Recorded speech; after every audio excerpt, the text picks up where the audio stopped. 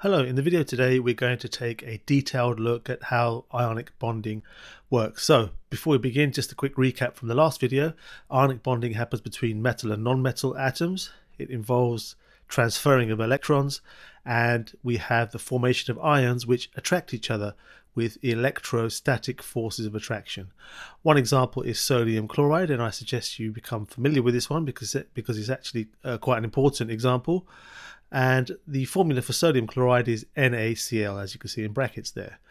So here we have a small sample of sodium metal but if we were to look at one of the atoms of sodium metal and we have done the method for drawing atoms previously but if we take a look at a metal sorry, an atom of sodium metal, you'll see that it has 11 protons and therefore 11 electrons. You'll remember that protons carry a positive charge and electrons carry a negative charge, and therefore we have a balanced number of protons and electrons in the atom.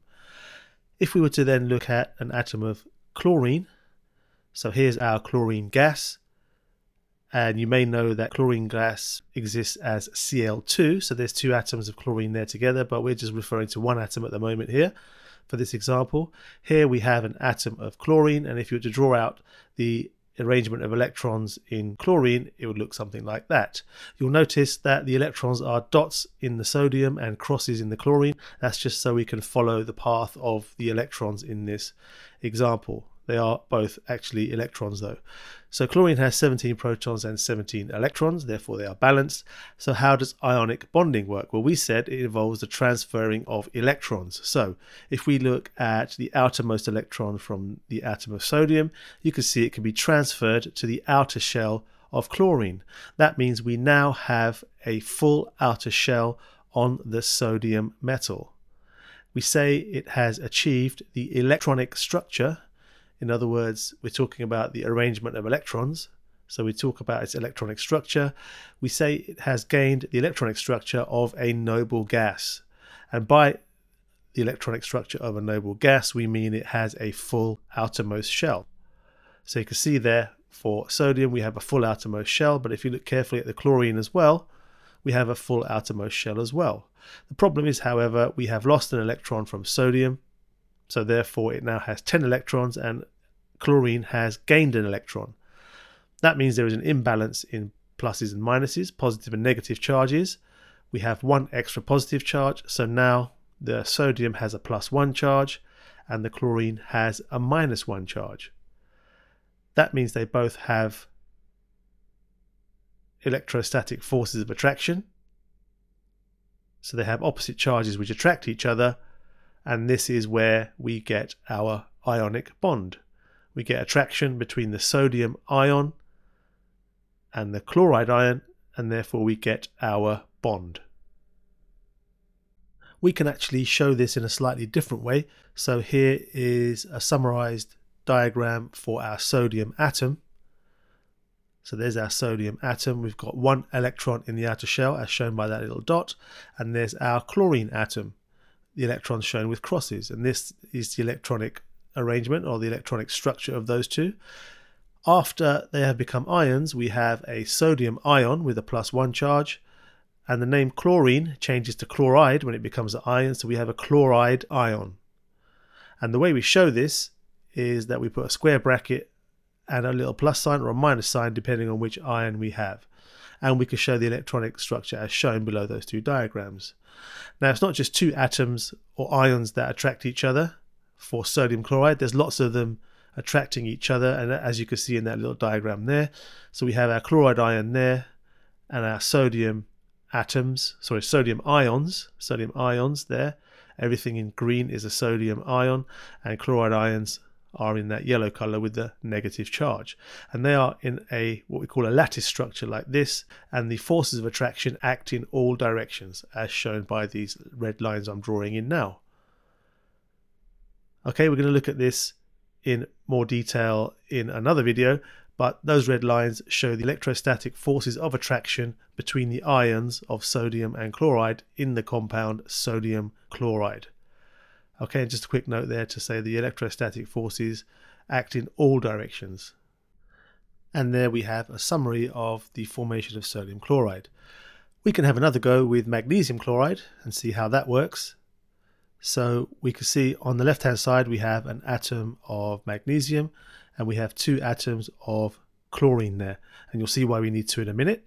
Firstly, you can see two electrons in the outer shell of magnesium, magnesium being in group 2. So one electron would be transferred to the one chlorine atom and the other to the other chlorine atom. Therefore, magnesium has lost two electrons, it has lost two negative charges, so it's left with a plus 2 charge. So the magnesium ion will have two extra protons compared to the electrons, and so it has ends up with a plus 2 charge. That's quite important, so we can highlight that.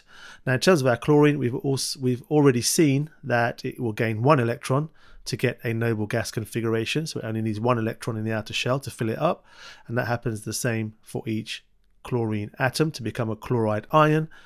And so we can write this out like this as we did previously. Magnesium, the magnesium ion is written like that with a 2 plus and the chloride ions are written with the square brackets with a little minus sign. And you can see why we need two chloride ions because the magnesium has a plus 2 charge so we need two negative charges to balance it out. One more example then, this is magnesium oxide and again magnesium has two electrons in the outer shell Oxygen is missing two electrons if it wants a noble gas configuration or a noble gas structure. So now we have our magnesium with a plus 2 charge as we saw previously. And in fact, we can get rid of that outer shell there to show that we have a full outer shell. And we have our oxygen with a full outer shell, but now with a 2 minus charge because it's gained two extra electrons. So we have a plus 2 charge and a minus 2 charge, so we only need one ion of each to become MgO. So in this slide, we're just going to look at a little pattern that we know in the periodic table. We're looking at group 1 and 2 and group 6 and group 7. And we know, so you must remember, that all the elements in group 1, going down there, they will form ions with a plus 1 charge. Because they all have one electron in the outer shell, they will produce ions with a 1 plus charge. All the elements in group 2 have two electrons in the outer shell, which they will lose, and so they produce ions with a 2 plus charge because they lose two electrons to get that noble gas structure. So if you just took calcium, for example, you know that it will end up with a 2 plus charge when it forms an ion. With our group 6, all of them have a similar pattern as well. They form ions with a 2 minus charge because they all gain 2 electrons. And for group 7, they all gain 1 electron, so they will all have a charge of minus 1. So bromine there, you know straight away because it's in group 7, will end up as an ion of minus 1. Sulfur there will be minus 2 because it's in group 6. So there we go. Let's highlight group 1, 2, 6 and 7 and highlight the kind of ions formed by each of those groups.